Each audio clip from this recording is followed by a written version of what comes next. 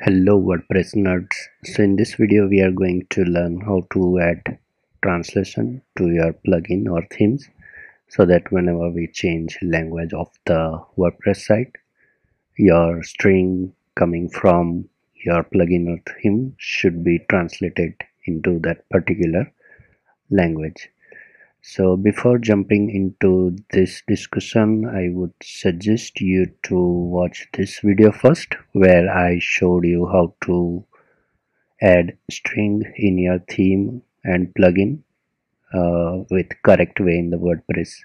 Because this video is dependent on this uh, this uh, functionality or feature. So yeah i would suggest to watch this video first. Uh, link is in is into the description section. And then start watching this video. And if you know what you are doing then just keep watching this video. So here I am logged in on my local site as an administrator. So let's start adding translations. So I'll be using a custom plugin which I showed you in my previous video. If you don't know that's okay. I will just to know that this is the plugin in which I am adding translations. This is the custom plugin I built. So first step is to install loco translator plugin.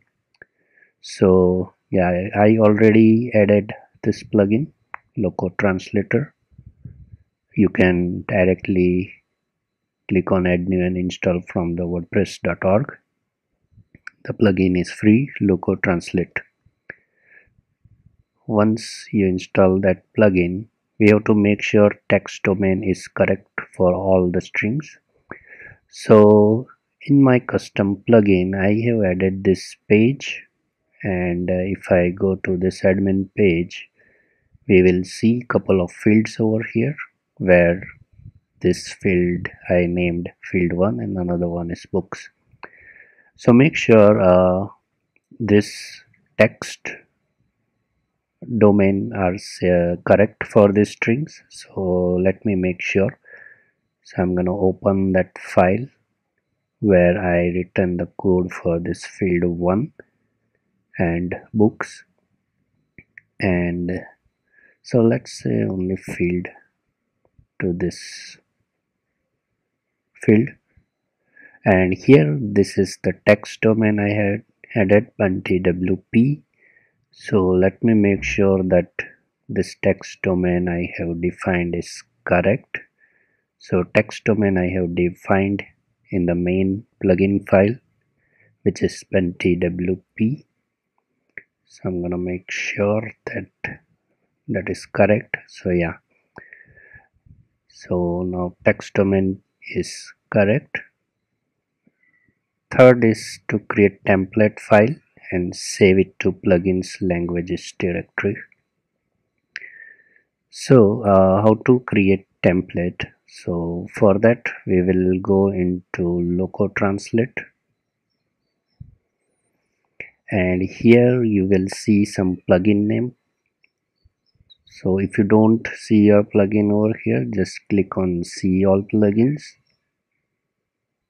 And here you will see all the list of plugins you have installed. So I'll go to my custom plugin.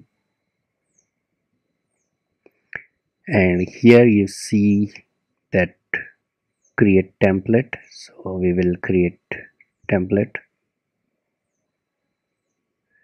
so string will be extracted to plugins my plugin languages. So make sure you have languages folder created here. So it is not there. So let's create languages so that this template file will generated in that folder. So let's create template now so it says template file created. Let's confirm. So it is here is the template file which is in a POT format. So that's that. Now uh, add language and start translate. So what we are going to do currently this is English language. So first of all let's go to general and I will switch language to some another language. So let's say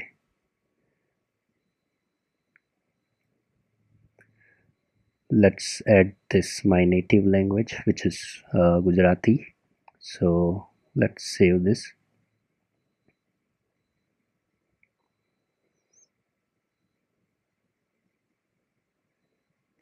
so as you can see everything is translated to this language.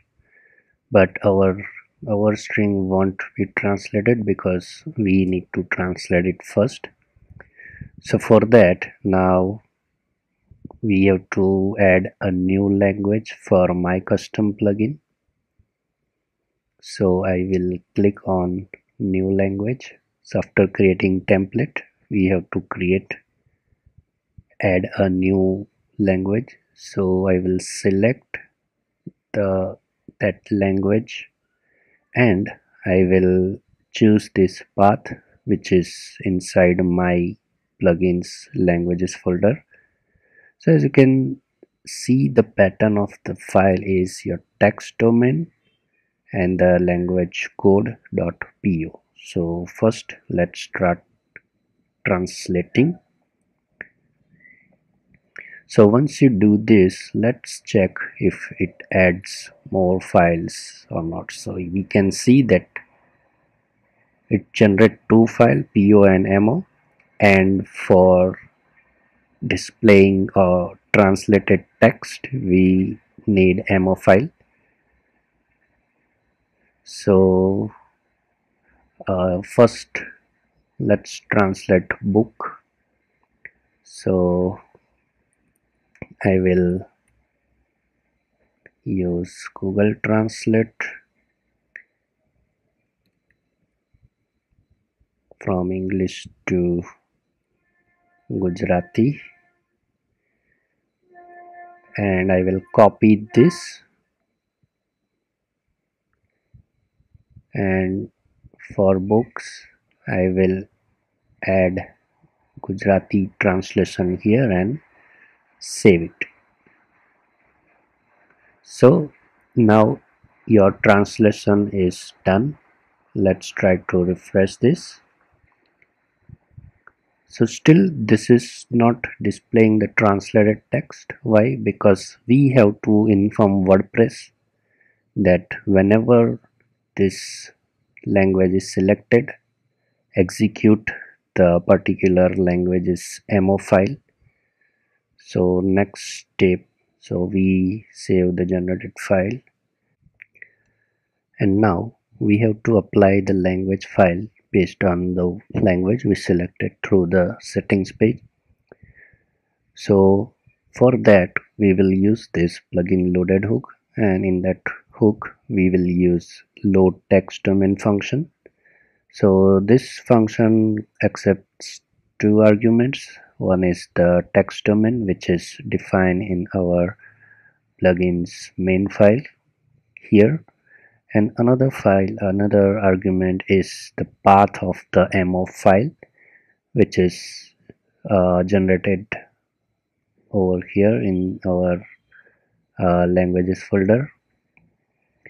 So based on the selection of language we have to provide that particular path so in our case our language file name is text domain dash language code. So here I have added this path. Uh, this this is the root of the plugin and then languages. Then twp the text domain hyphen.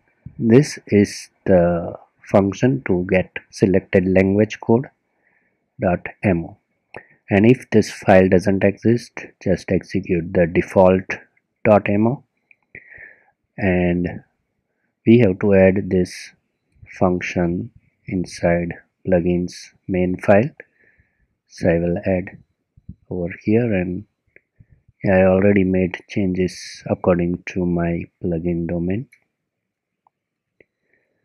And now if we refresh this it will display the translated text. So our text is translated now. Um, let's go back to this my plugins setting into the loco translator translator. And let's add a new language. And I will select Spanish. And I will select this path again languages folder and start translating. Now we will translate the same word into Spanish language. So I will select Spanish here and it is Libros. So let's translate books into Spanish and save it.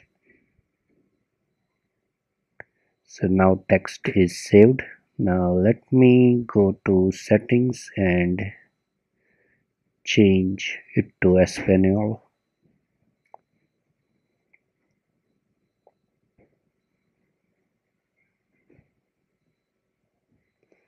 so everything is now into Spanish. And if I refresh this page again we see the Spanish language. So this is how um, you can make your plugin or theme translatable.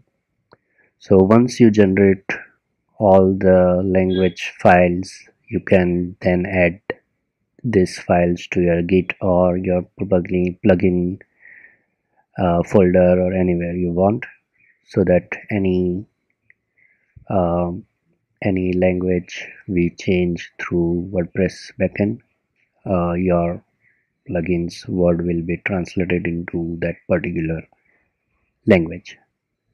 So yeah this is how you can make your plugin translatable. And yeah this is the video. If you have any doubt or question please write down below in the comment section. Thanks for watching the video guys